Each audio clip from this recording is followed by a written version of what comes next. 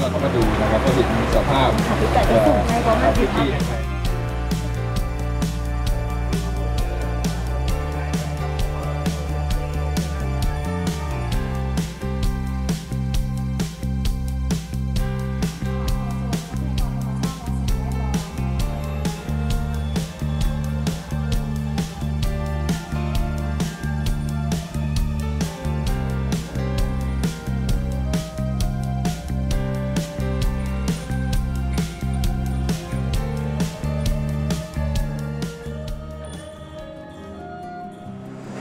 มของจังหวัดศรีสะเกษ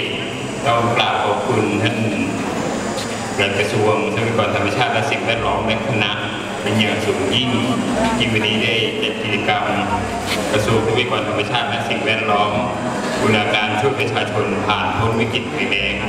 ซึ่งถือว่านี่เป็นเรื่องที่สำคัญอย่างยิ่งเลยเพราะว่าคนไทยกับน้ำเนี่ย ถือว่าเป็นเรื่องที่เป็นของคู่กันโดยเฉพาะยิ่งที่เป็นเกษตรกรเนี่ยจำเป็นที่ต้องอาศัยน้ำในการดำเนินการประกอบอาชีพด้วย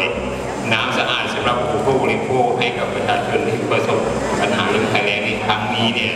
ทั้งอำเภอทั้งตำบลศรีตะกูลและตำบลกำจัดทายพงตำบลประสาทในเขตอำเภอขุนขันซึ่งถือเป็นส่วนที่ กระทรวงทรัพยากรธรรมชาติและสิ่งแวดล้อมนะครับวันนี้ที่เรามาเราบูรณาการงาน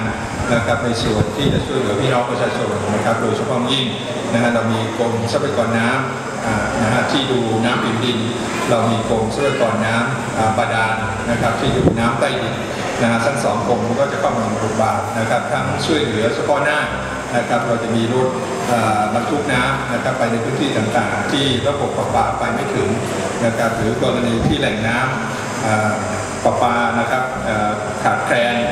น้ำที่จะใช้ในการอุปโภคบริโภคขาดแคลนนะฮะซึ่งตรงนี้เราก็เข้าไปมีส่วนร่วมนะครับ นอกจากจะวางแผนช่วยเหลือในระยะสั้นอัน นะฮะสิ่งที่เราจะมองระยะยาวคือพี่น้องประชาชน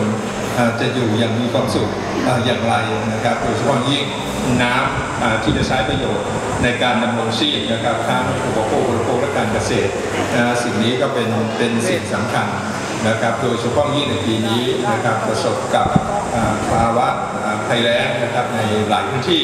นะครับในบางพื้นที่เราก็มีปัญหาเรื่องหมอกควัน ไฟป่านะครับท่านทุกท่านก็คงทราบนะครับโดยเฉพาะยิ่งที่น้องภาคเหนือที่ประสบอยู่นะครับก็เป็นบทบาทที่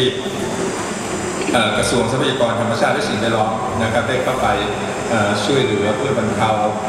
ผลกระทบบรรเทาปัญหาต่างๆ ที่จะเกิดขึ้น แล้วก็ช่วยเหลือพี่น้องประชาชนนะครับ